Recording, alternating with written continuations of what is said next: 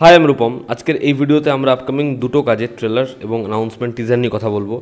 একটা হচ্ছে সুরঙ্গ আফরান নিশোর কাজ মোস্ট অ্যান্টিসিপেটেড বেঙ্গলি মুভি তো বাংলাদেশের পক্ষ থেকে আফরান নিশোর প্রথম সিনেমা যেটা থিয়েটারে মুক্তি পাবে, এই ছবিটার জন্য আমি খুব এক্সাইটেড ছিলাম।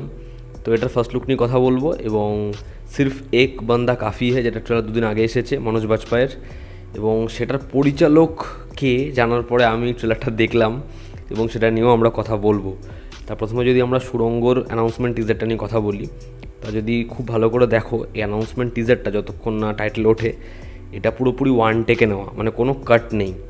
এবং আমার খালি একটা জিনিস মনে হয়, যখন আফরান মুখটা দেখানো হলো, তখন ওই গ্লিচগুলোর জন্য কাটটার দরকার কি ছিল? মানে এত সুন্দর ওয়ান টেকটা তারা নিয়েছে। তো আফরান যেরকম লুক তার যেরকম অ্যাটিটিউড বাজ পড়ছে, বাইরের পরিবেশ, আবহাওয়া খুব খারাপ সে এই ঘরটার ভেতর ঢুকলো এবং যে সুড়ঙ্গটা সে খুঁড়ছে, সেটাকে সে লুকিয়ে রেখেছে। তো সেই জায়গাটায় সে প্রবেশ করছে এবং সে একটা সিগারেট জ্বালাচ্ছে এবং সে তাকাচ্ছে। দারুণ! এবং যখন সে সুড়ঙ্গর ভেতরে প্রবেশ করে গেল, সেখানেই শটটা এন্ড হয় এবং একদম শেষ ভাগে ঠিক তুমবারের মতো একটা শট রাখা হয়েছে, যে রোটেট হতে হতে ক্যামেরাটা বেরোচ্ছে এবং সে শুয়ে ক্যামেরার দিকে লুক দিয়ে রয়েছে। যেরকম এখানে কালার গ্রিড মানে প্রথমে যেরকম একটা গ্রিনিশ টিন্ট রয়েছে, যেরকম ব্যাকগ্রাউন্ড স্কোরটা হার্ড হিটিং এবং যেরকম আফরান নিশোকে দেখতে লাগছে। আফরান নিশো সব থেকে যেটা দারুণ লাগে সেটা হচ্ছে তার অ্যাটিটিউড সে যখন স্ক্রিনে থাকে, ছবি যেমনই হোক, তার স্ক্রিন প্রেজেন্স এরকম না যে অডিয়েন্সকে অ্যাট্রাক্ট করবেই।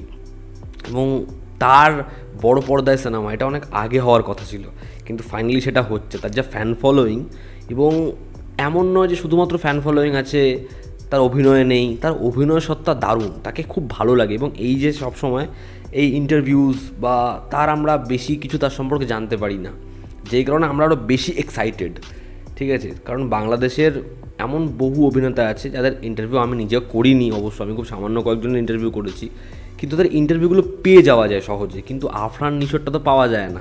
এই টিজারে সেটা রিফ্লেক্ট করে দেখতে খুব ভালো লাগে, তার ওই মুস্টাচ তার ওই লুকস খুব ভালো। এবার কিসের সুরঙ্গ? এই সুরঙ্গর মধ্যে দিয়ে সে কোথায় যাওয়ার প্ল্যান করছে, সেটা আমরা জানতে পারব।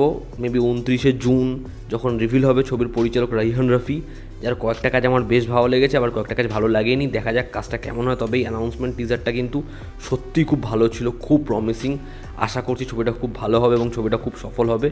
একটা হার্ড হিটিং অ্যানাউন্সমেন্ট টিজার দেখার কাজটা হয় কেমন। এবার যদি আমরা, সির্ফ এক বান্দা কাফি হ্যায়। বা বান্দা, সেই ছবির ট্রেলার নিয়ে কথা বলি, যেটা দুদিন আগে ড্রপ করা হয়েছে। যেখানে মনোজ বাজপেয়ী মুখ্য চরিত্রে অভিনয় করছেন এবং আর যারা সাপোর্টিং কাস্টে রয়েছে, কাউকে আমরা সেরকমভাবে চিনি না। ঠিক আছে? এবং এই শোয়ের যে ডিরেক্টর যিনি এর আগে অ্যাসপিরেন্টস সেরকম শো হ্যান্ডেল করেছে মানে টিভিএফের লোক, অপূর্ব সিং কার্কি খুব ভালো একজন পরিচালক, সে প্রুফ করেছে আমি বললামই। তো এখানে যে গল্পটা দেখাচ্ছে, আমরা রিসেন্ট টাইমস এরকম ধরনের গল্প দেখেছি। বহু কাজে, আশ্রাম সব থেকে বড় উদাহরণ। তো এখানে একটি ষোলো বছরের মেয়ে, যে একটা কেস ফাইল করছে।